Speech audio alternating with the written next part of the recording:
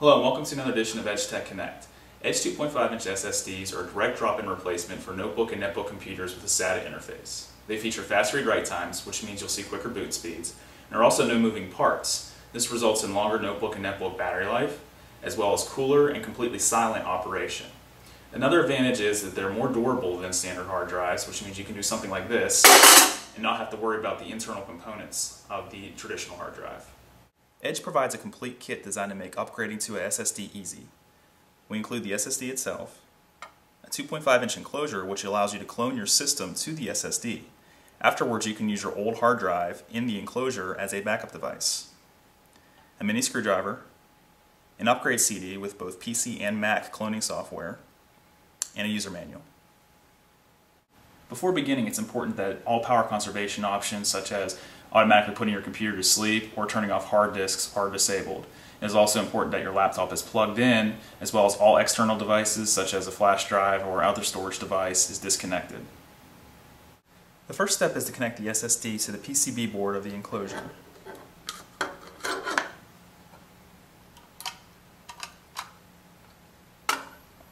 Next, take the supplied SSD upgrade CD and insert it into the CD-ROM drive.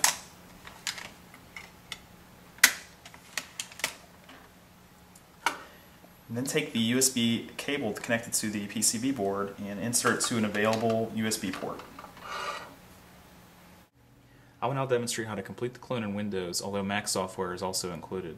Restart your computer with the upgrade CD inserted. Windows will boot from the CD. Afterwards, select Acronis TrueImage HD.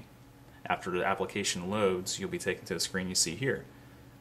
Select Clone Disk. Next. Select Automatic Mode. Then select your source disk. This is your computer's hard drive and is not labeled USB. Next select the destination disk.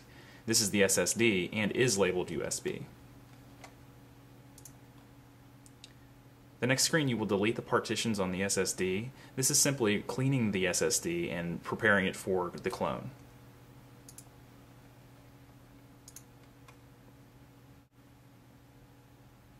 After that is completed, you'll review the hard disk structure and then a final review of the entire cloning process and click proceed to start. Afterwards the cloning process will start and will take approximately one minute for each one gigabyte of used data on your original source disk. So if you had, for instance, 30 gigabytes of data stored on your computer, the clone process will take approximately 30 minutes to complete. Now we will remove the old hard drive and install the new SSD. This process will vary depending on what brand of computer you have. We recommend you refer to your computer's user manual or OEM website for detailed instructions. Unplug the USB cable from the computer and attach the SSD from the PCB board. We will now remove the old hard drive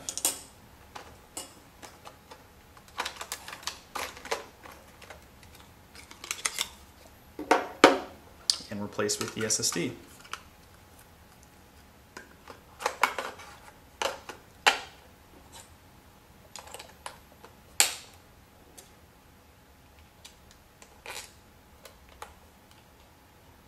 The system is now ready to start up and resume working. Now that the SSD is installed, you can use your old hard drive with the supplied enclosure as a portable backup device. First connect the hard drive to the PCB of the enclosure. Next, use the supplied screws and screwdriver to secure the PCB to the hard drive, and then insert into the enclosure.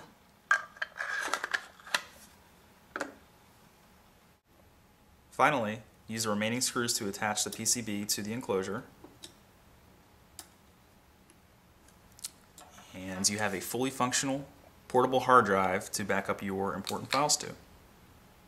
To order an Edge SSD and for more information, visit www.edgetechcorp.com.